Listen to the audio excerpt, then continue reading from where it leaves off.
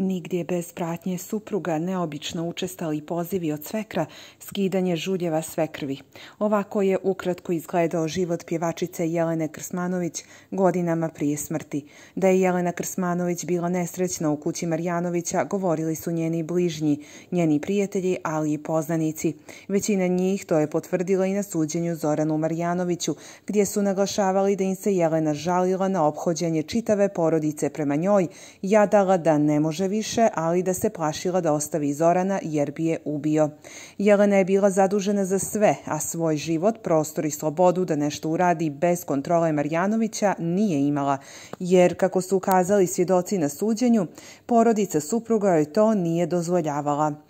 Bivša državna sekretarka Dijana Hrkalović rekla je tokom gostovanja na televiziji Happy da je policija već danima nakon zločina znala da je u pitanju bio zločin i strasti i da je atmosfera u porodici Marjanović bila bolesna. Iako je nakon ubistva svoje supruge Zoran Marjanović pokušavao svim silama da ukaže da je njegov odnos sa pokojnom pjevačicom bio idiličan, već na samom početku istrage zločina, ali na osnovu njegovih izjava, bilo je jasno da u tom odnosu nešto nije bilo kako treba.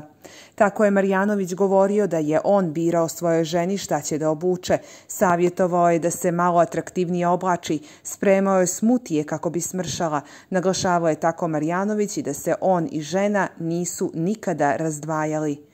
Da takav odnos nije bio zdrav, kasnije su posvjedočile Jelenine prijateljice, ali i rodbina. Tako je pjevačistina frizerka ZG navela da se Zoran često obhodio prema Jeleni sa nipodaštavanjem, da ju je zvao tetka, da ju je kritikovao kako izgleda i kako se oblači. Pitala sam je zašto ga ne ostavi, a ona mi je odgovorila, Zoko, on bi mene ubio da ga ostavim, kazala je ona. To je potvrdila i još jedna prijateljica ubijene pjevačice koja je naglasila da je više puta prisustvovala neprijatnim scenama između Zorana i Jelene, kao i da je Marijanović suprugu često nazivao debelom i tetkom, a da je to Jeleni smetalo.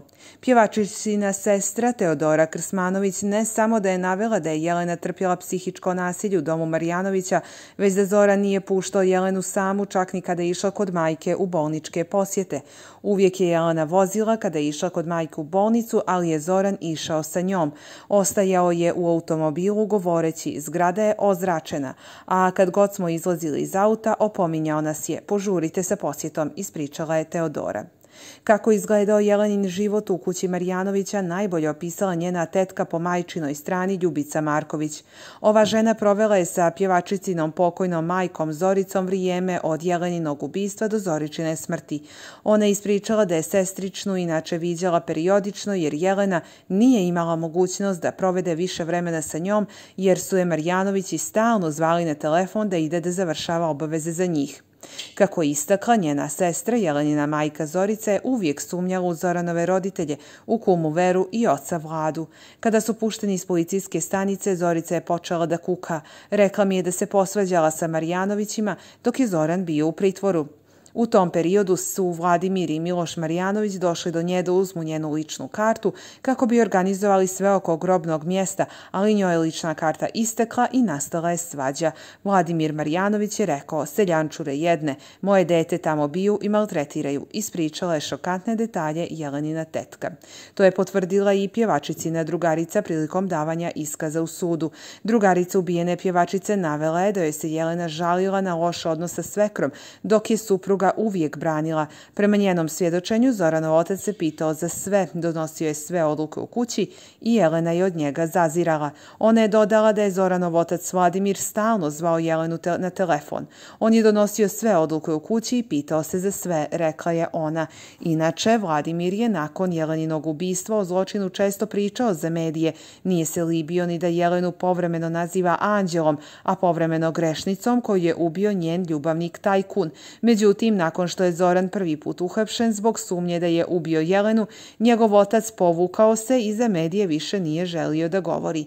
Njegove izjave o Jeleni mijenjale su se iz mjeseca u mjesec. Od Anđela i divne djevojke u noći kada je Zoran uhapšen zbog njenog ubistva, Vladimir je promijenio poču i rekao da je Jelenu ubio njen ljubavnik Tajkun. Ljubavnik koga do te noći nikada niko nije pominjao.